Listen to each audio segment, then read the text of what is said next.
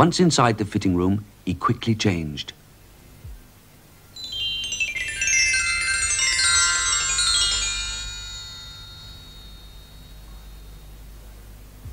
He smiled in the mirror.